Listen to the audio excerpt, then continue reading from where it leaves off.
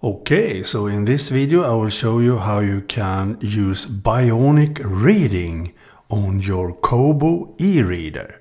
In this case I have a Kobo Libra H2O, but it works with all Kobo e-readers and probably also Amazon Kindle devices. But to use bionic reading on Kindle devices you have to convert your EPUBs to Mobi format for your Kindle device first. But first you need to install an app called Bionic Reading. Bionic Reading is recently released for both iOS and Android. This app converts your EPUB books to Bionic Reading format. Works pretty good I have already installed it as you can see. And Bionic Reading, if you don't know what that is, is a format to read faster, better, more focused and reading more.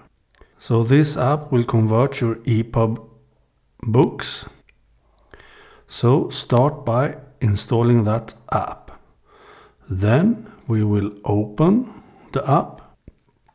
Here I have opened the app now from here you need to choose the second options, files. And from here you need to choose a file and your file need to be DRM free, so no copyrights, no copy protection on your EPUB book. And I am subscribing to Tor Books, Tor Books newsletter. And with that newsletter, I get a lot of free books quite often. So here we have one of them. The Alloy of Law by Brandon Sanderson. So I click on that book and choose open. Now that book is ready to process in Bionic Reading app. Now I click process. This will take a while, so we have to wait for a while, but not as long as you saw. Here we have that book now formatted with bionic reading format. It actually looks quite neat, I think. You can, of course, go into settings in Bionic Reading app and do a lot of different uh, stuff if you want to have it some different formations some different formatting. As you can see, you can choose a lot of different stuff. But I will go for the default settings for this example. So I'm happy with this as it is now.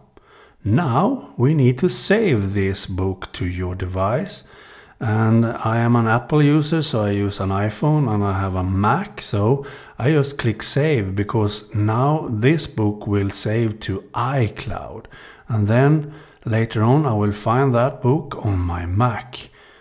Totally automatically it will be ready on my Mac and from the Mac I will transfer it to my Kobo e-reader. So just click this icon on top to save this book. As you can see here, you can send it immediately to your Amazon Kindle device if you have one. That's neat. Or you can download an EPUB file or download a PDF. So I will download the EPUB file. Now this will take a while it says, so we just have to wait for a while to see when it's ready. Still working on this, so it will take a bit longer. And it still works, 30 seconds or so. Now it's ready. Here we can choose where you want to store this book. And I just click done because I want to show a copy of this in the same folder as I have the original book. So I just click done and that's it. Now I have that book in bionic reading format so now I can transfer it to any ebook reader I want. So now we go into my Mac to do the rest of the video. Okay, so here we have the bionic reading formatted EPUB book, as you can see here.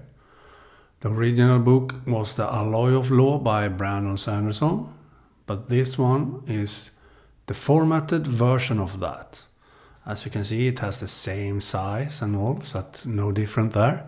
So now you just have to copy this, transfer this or whatever to your ebook reader. So I will just drag this file to this Kobo e-reader that I have connected to my Macs and just release it. Now it's copied to the Kobo e-reader. That is how easy it is. So now I just disconnect my Kobo e-reader again. And after that, I will show you in the video how it looks on my Kobo e-reader. Okay, so here my Kobo e-reader is. So now when I disconnect this from uh, my Mac, just wait a while because it's disconnected at the moment from my Mac. Now, as you can see now, I can remove this power cable and by doing a search you can find that recently added book Bionic Reading on your co-reader Kobo e-reader. So I just click on this file now and the book will open hopefully.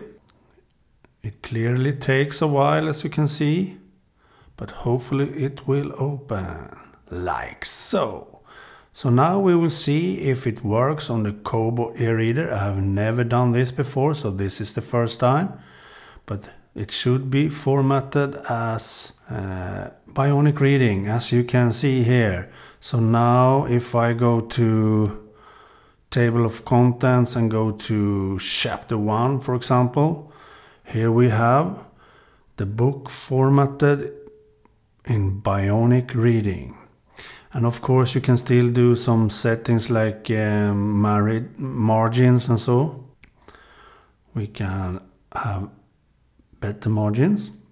Everything gets slower with a bionic reading formatted book I see actually. But uh, as you can see here you can read this book with bionic reading formatting. That is how easy it is to use bionic reading on a Kobo e-reader. And of course it works with Amazon Kindle too, if you want, if you prefer that ecosystem and locked in version of e-reading. Personally, I love Kobo e-readers better because you can hack them and install KOReader on them and do a lot of stuff and you don't need to be forced to use Amazon all the time. But this is it. Please like this video and please subscribe to my YouTube channel so you don't miss more videos from me. I will do a lot of book videos on how to read books and different apps to use when reading books and so on. And of course a lot of videos about Apple products too. Okay, bye.